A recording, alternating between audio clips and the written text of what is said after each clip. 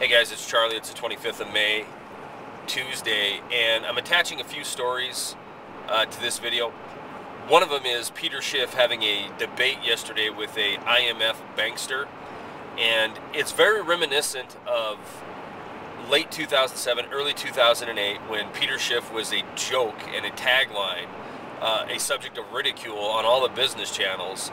Yet he was right on the money when the markets, uh, when the subprime imploded. And now we're having uh, a, a fantastic case of deja vu because here we are. People are making fun of him again. They're arguing with him that recovery is well at hand, that uh, this is sustainable, and our GDP is actually growing. No, it's not because of the massive amount of government spending. It's because we have the greatest economy on earth. It, it's all a pack of lies, and you know the uh, the mainstream media is 100% culpable in helping uh, portray this fantasy.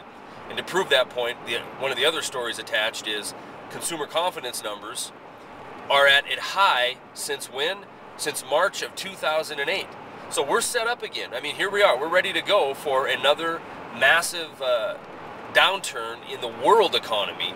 And to prove that point, Geithner goes over to China to try to talk to them about trade policy, and all they want to talk about is the debt crisis uh, strangling Europe right now. Because the Chinese realize with the with the globalist model, the globalist agenda, we are all tied in.